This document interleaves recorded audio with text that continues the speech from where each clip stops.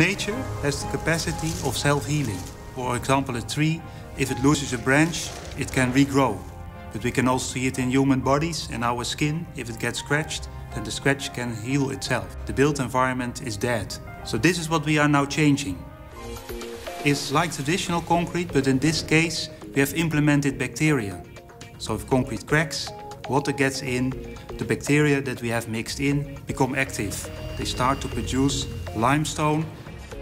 They have two characteristics. One is that they make spores, and these spores can survive even up to 200 years.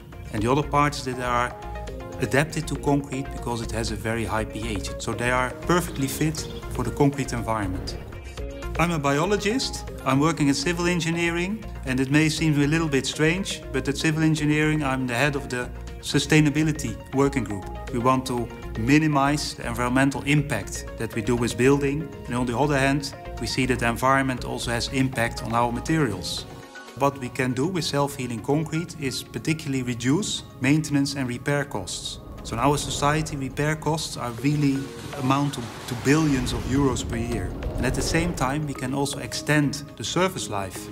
So in our initial research, we almost doubled the cost of concrete. If you consider that in a finished construction, the cost of concrete only amounts to 1%. So then we hardly increase the price of the construction and we are now fine-tuning and we can already substantially reduce the costs so with self-healing concrete, we can create a win-win situation because we implement the living environment into the building environment. The building environment is essentially dead, but now we can make it alive.